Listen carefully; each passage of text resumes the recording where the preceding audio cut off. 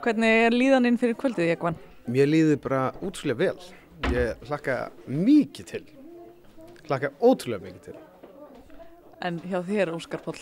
Líðaninn hefur sjaldan verið betri, maður er náttúrulega alltaf með smá fyrring í maganum, þetta er, þetta er spennandi en, en umfram allt skemmtilegt.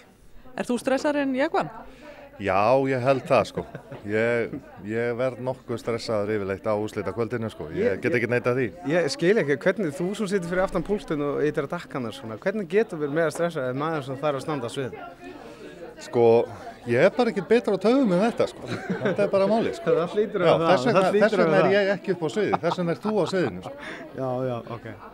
En nú eru tölur vera breytingar á, á þessu atriði. Getið þið sagt mér aðeins frá því? Já, við erum bara búin að stækka lægið aðeins, við erum búin að setja smá strengi í það og svona bara setja það í, í, í svona úslita búning, loka keppnis búning. Ha, það eru komnar nýja leikflettur og, og við ætlum að taka júkan og, og hérna og einhver fleiri brauðharnin á línunni sko. Það er bara klæðið þetta í gala. Já.